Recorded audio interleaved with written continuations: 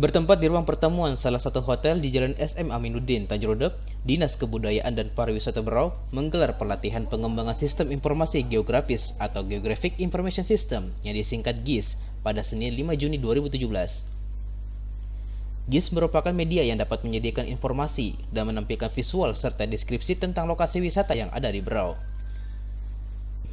Pelaksanaan kegiatan ini merupakan upaya penyesuaian teknologi yang saat ini semakin berkembang.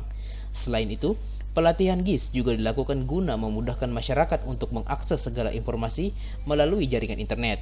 Terlebih pariwisata merupakan industri yang menjanjikan dalam peningkatan ekonomi. Dalam pelatihan tersebut, disebut melibatkan 20 peserta yang berasal dari 13 kecamatan di Berau.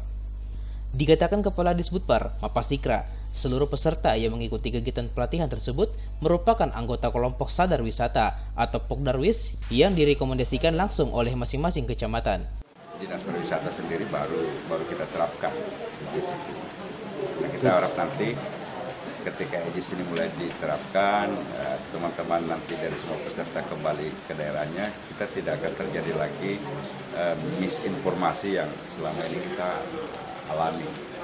Kita tidak akan terjadi lagi bahwa angka-angka kunjungan wisata uh, banyak yang lepas sebab uh, mereka antara lain sebagai ujung tombak di dalam pengumpulan angka-angka itu juga memberikan informasi dan berbagai konsep di dalam mengelola destinasi yang ada di semua kecamatan.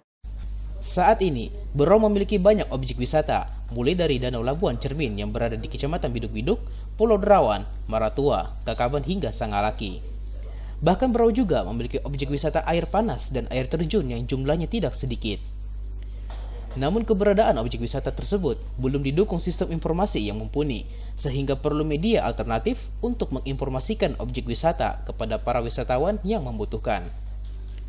Maka sistem GIS tersebut dinilai sangat tepat jika diterapkan pada para wisata Berau. MS Zuhri, Benus TV, melaporkan.